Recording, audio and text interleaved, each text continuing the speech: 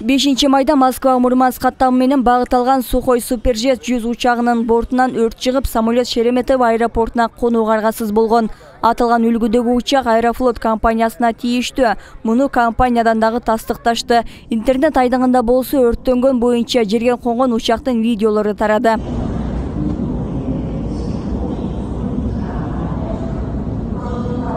Аталган учак москва убактысы боюнча шереметово аба бекетинен саат он жети элүү жетиде учуп чыккан ал эми он диспетчерге авариялык кырдаал тууралуу маалымат берген. Ошондон беш мүнөттөн кийин келип конгон видео тасмада көрүнүп тургандай конгондо анын арткы бөлүгү жалындап күйүп жаткан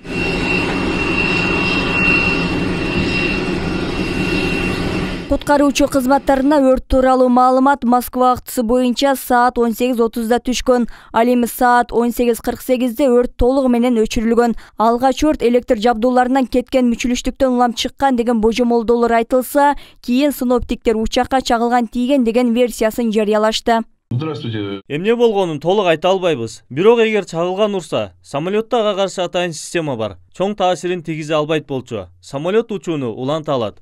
Эгерде экинчи жолу урса электрондук системаларды иштен чыгарып эң жакынкы жерге конууга аргасыз болот. Бирок чагылган урушу мындай чоң өрткө алып келбейт. Учурда бул өтө оор кырдаал. Бул жерде бир гана жагдай бар. Электрондук системалар иштен чыкты деп айта алабыз эгерде түтүн двигательден чыгып атайын кислород менен аралашып борттун ичин каптаса анда баарын уулап коет мындай учурда пилот кислород берүүнү токтотушу керек. Правильно достаточно приняли решение. каза болгондордун саны кырк бирге жетти ага ылайык учактын ичинде жетимиш сегиз жүргүнчүнүн отуз жетиси гана аман калган алардын отуз үчү жүргүнчү болсо төртөө экипаждын мүчөсү тирүү калгандардын тизмеси аэрофлоттун өз сайтына жарыялады алты киши ооруканага жаткырылып үчөө оор абалда экендиги айтылды.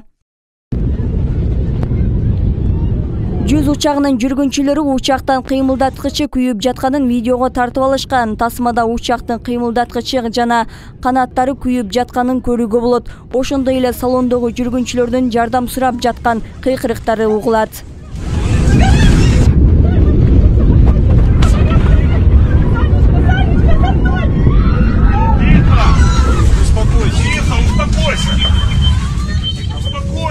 мурманск облусунун жетекчилиги тарабынан аймакта үч күндүк аза күтүү жарыяланды. Облустун каза болгон тургундарынын жакындары миллион рубльден компенсация алат. Ал эми ооруканага жеткирилгендерге беш жүз миң рубль берилет.